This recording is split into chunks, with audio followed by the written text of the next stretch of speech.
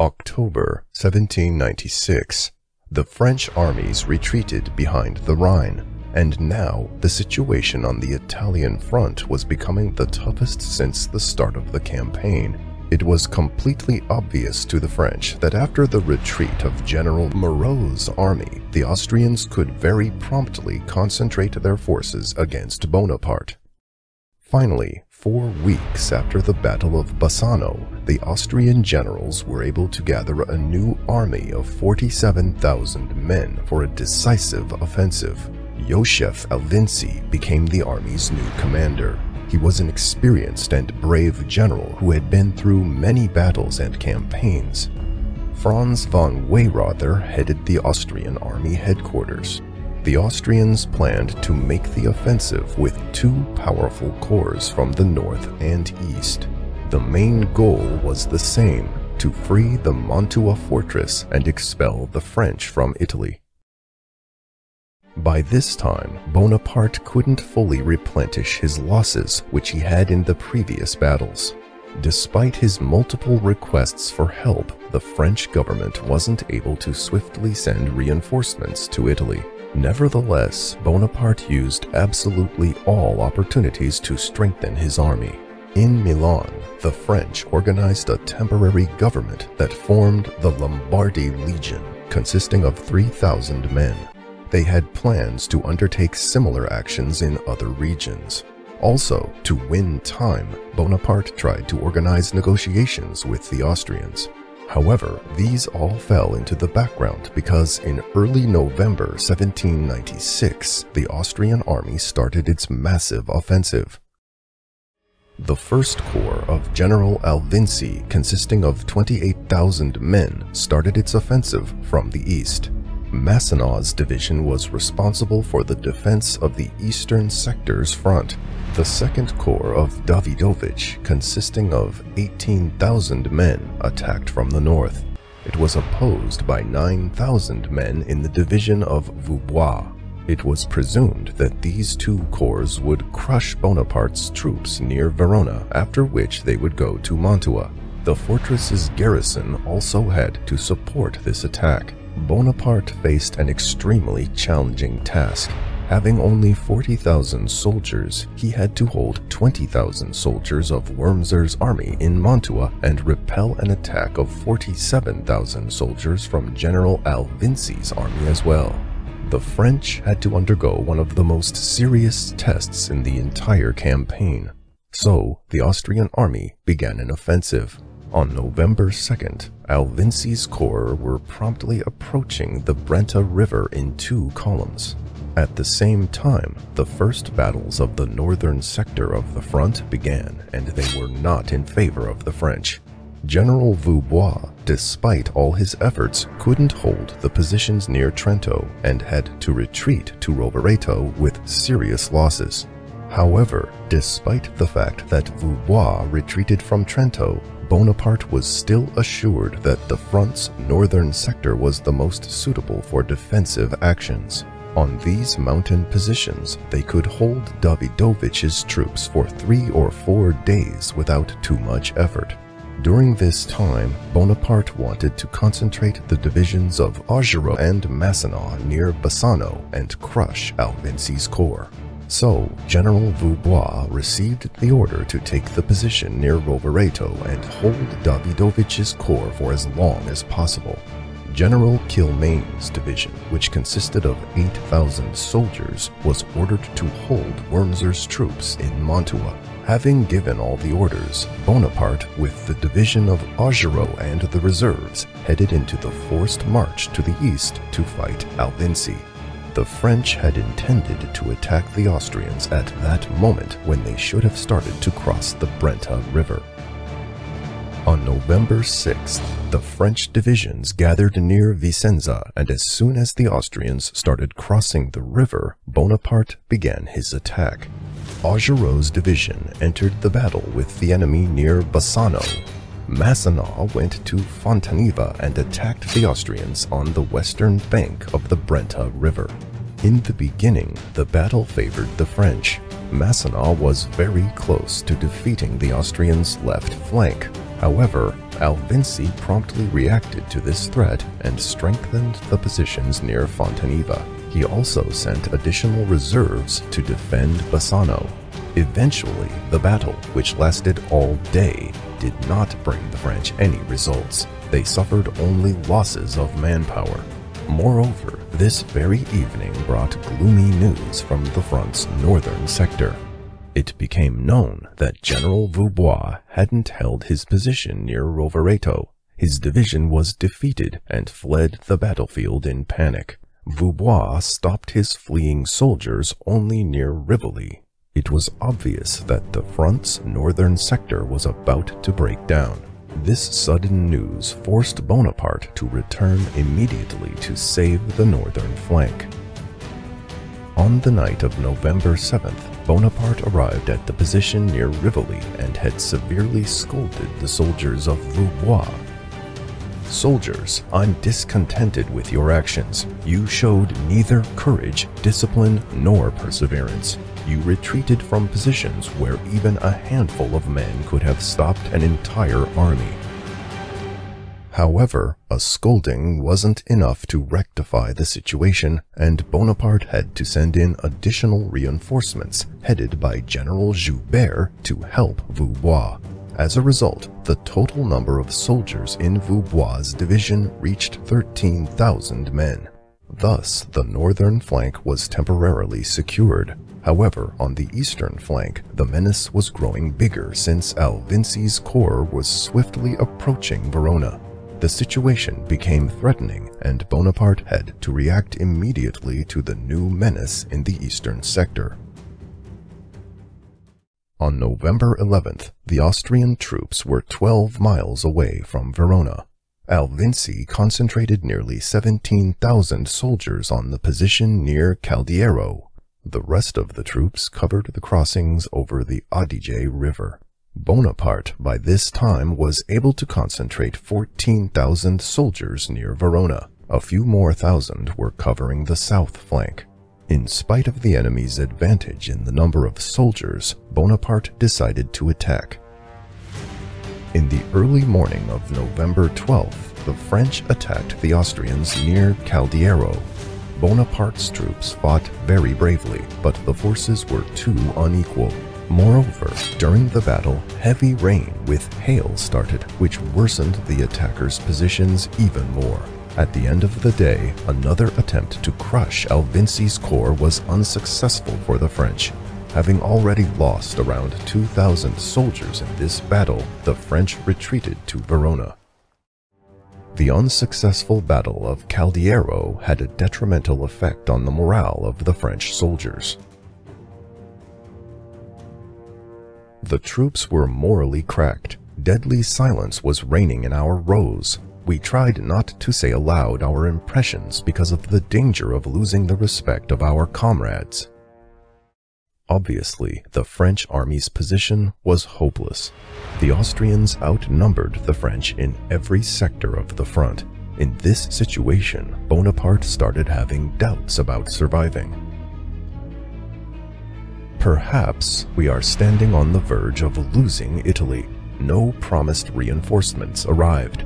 However, I will still fulfill my duty. Joubert, Lannes, Linus, Murat, Rampon, they are all injured. Perhaps the hour of the intrepid Augereau, the brave Massena, and my own death is at hand.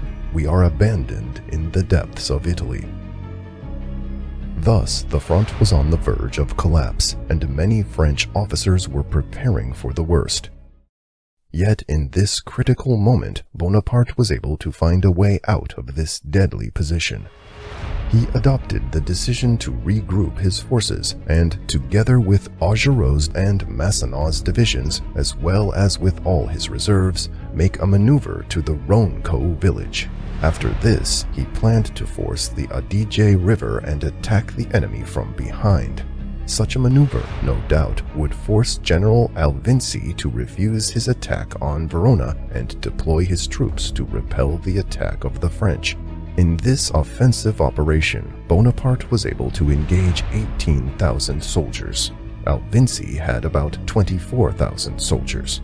So, after having left 2,000 soldiers in the Verona garrison, Bonaparte began his great maneuver.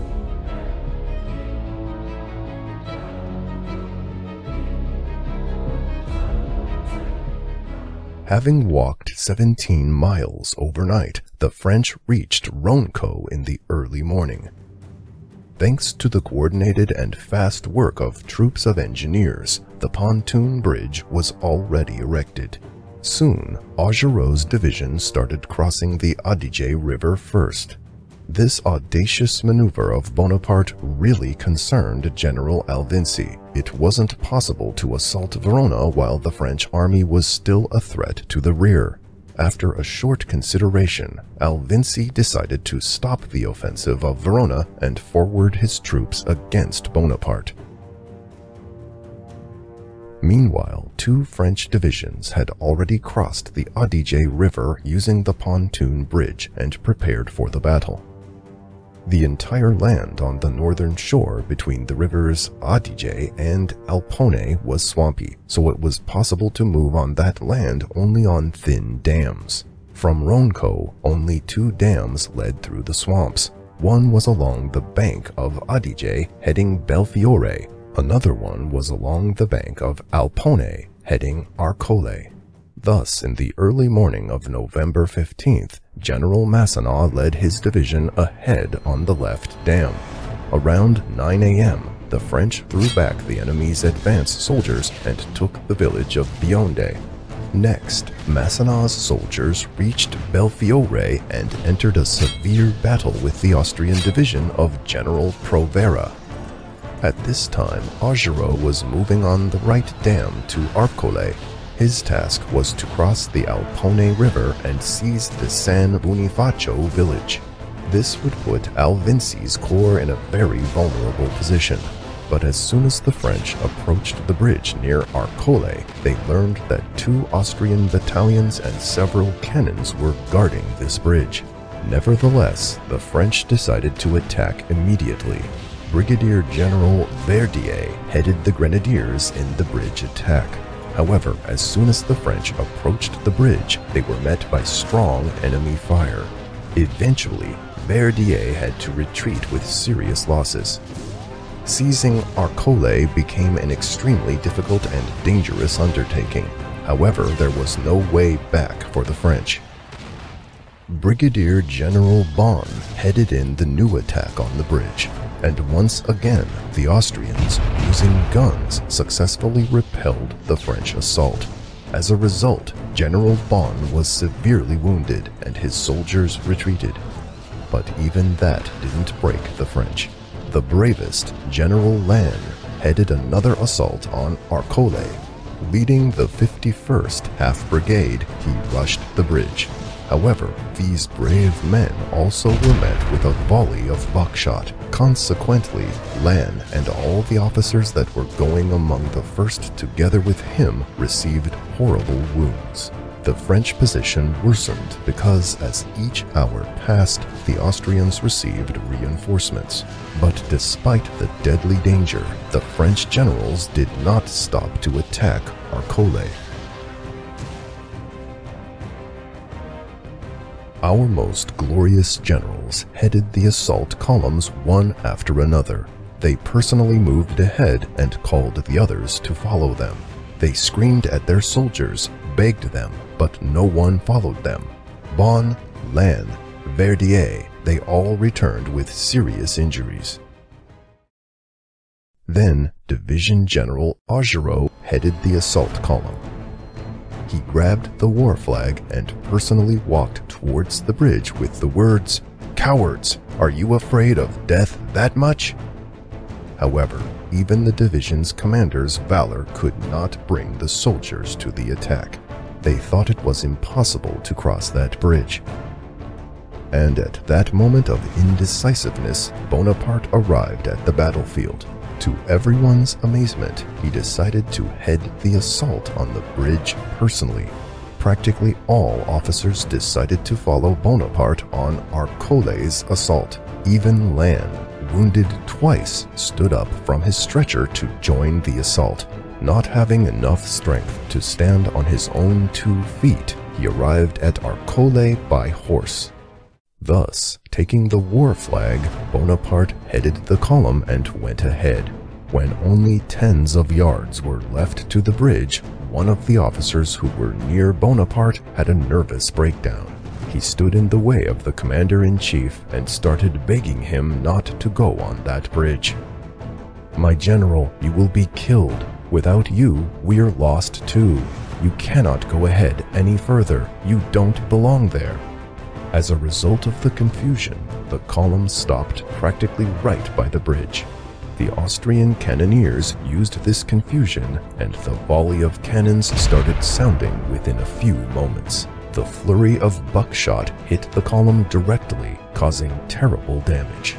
Many soldiers and officers were killed on the spot. However, the Austrians were not able to kill the French commander-in-chief. Adjutant Muiron covered Bonaparte with his body. This devoted 22-year young officer sacrificed his life to save the commander-in-chief. After this horrible volley, the soldiers started to run back. In this turmoil, Bonaparte fell into the water and was saved by his loyal adjutants who took him out and brought him to safety. Thus, all attempts of the French to seize Arcole quickly failed.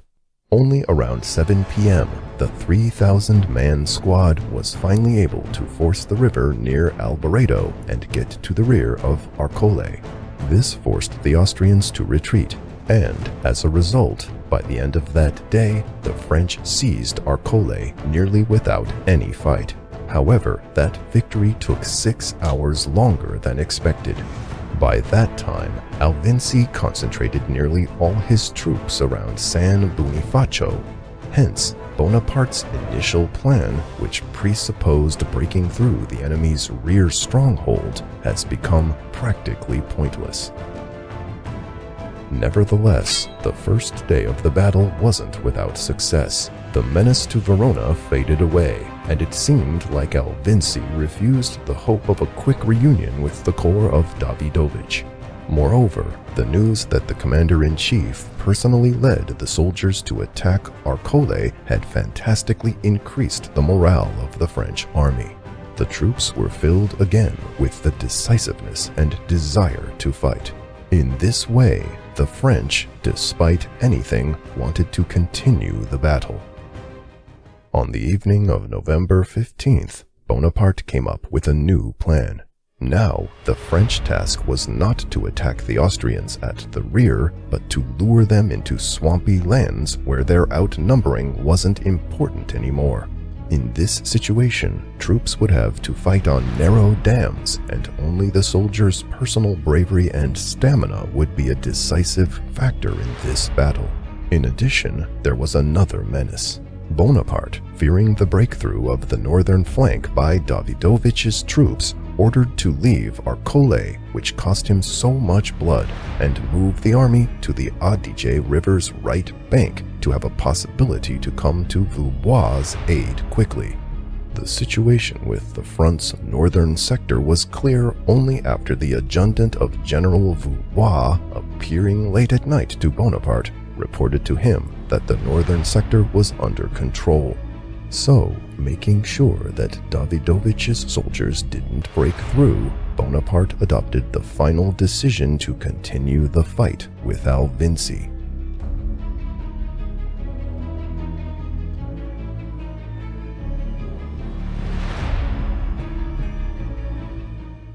the early morning, General Alvinzi sent his troops to Ronco, believing that the French were retreating. However, that was exactly what Bonaparte expected. As soon as the Austrians were on dams, Massena's division counterattacked with full decisiveness. The famous 32nd Half Brigade was in the thick of the fight, led by General Gardanne. He ordered his soldiers not to shoot, but to use bayonets only. At the same time, on the right dam, Augereau's soldiers attacked Mitrowsky's division. Verdier's grenadiers that were moving in the avant-garde defeated everyone in their way. Eventually, by noon, the French were able to move the enemy back to Belfiore and Arcole. However, Alvinci didn't want to give up his positions and forwarded more and more battalions to these swamps. Alvinci recalled an old principle. When the enemy is pressed to the river, you must attack it. But he forgot another not less important rule. When you outnumber the enemy, you must fight with it on the open terrain, not going to rough terrain where the small number troops are almost the same strength as the large number ones. Thus the battle on the dams continued all day and both armies fought until twilight. Immediately after the battle, Bonaparte again led his troops to the right bank of the Adige River to be prepared for any unforeseen movement on the north flank. Bonaparte's concerns weren't in vain, because that night he received news that Vaubois' division retreated from Rivoli. It became obvious that the northern flank was on the verge of defeat, and Bonaparte had very little time to conquer Alvinci. However, despite the critical situation in the northern sector of the front, Bonaparte adopted the decision to finish Alvinci. General Kilmaine received the order to send 3,000 men to Ronco immediately as reinforcement. Thus, Kilmaine only had left around 5,000 soldiers to contain Wurmser's troops in Mantua. Bonaparte risked a lot because Wurmser had a great chance to break through from the fortress. Nevertheless, Bonaparte took that risk. The order to join the battle was also received by a small French garrison, which was located at Legnago. So as to lure the Austrians to the dams again, Bonaparte disseminated false information that the French had started to retreat to Mantua. Thus, Bonaparte scheduled the decisive battle for November 17th.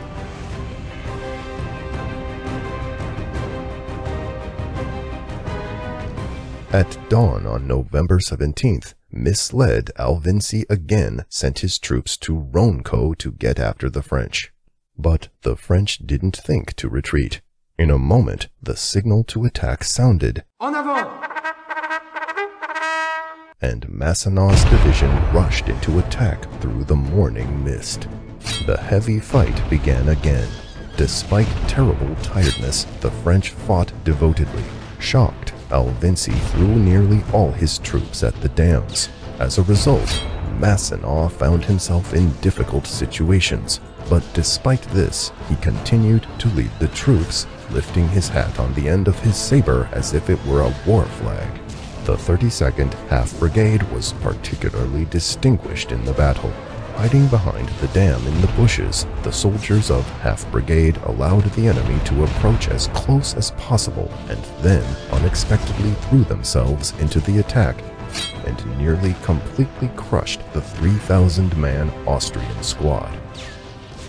So, after Massena distracted the enemy's main forces toward himself, Bonaparte started the flank attack. Augereau's division forced the river near Albaredo and attacked the Austrians on the eastern bank of the river Alpone. This attack coincided with the arrival of reinforcements from Legnago. Bonaparte also threw General Kilmaine's reinforcements into battle.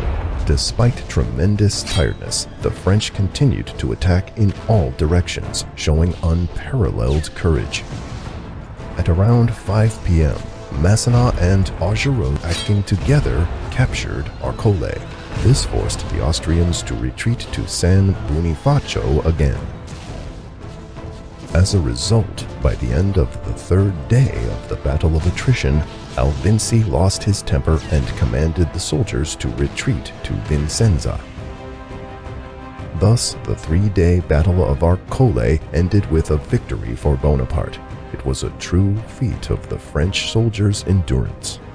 The losses of both armies were huge. The French lost about 4,500 men. The Austrians lost 7,000 dead, wounded, and POWs. Despite still outnumbering the French, the Austrian army no longer had enough morale or physical power left to continue the fight with Bonaparte. On the day after the battle, the French went to help Vaubois. However, as soon as Davidovich found out about the approaching Bonaparte army, he hastily retreated back to the north. Thus, Bonaparte again prevented a catastrophe despite being outnumbered by the enemy. The victory in the Battle of Arcole was Bonaparte's greatest achievement at that time.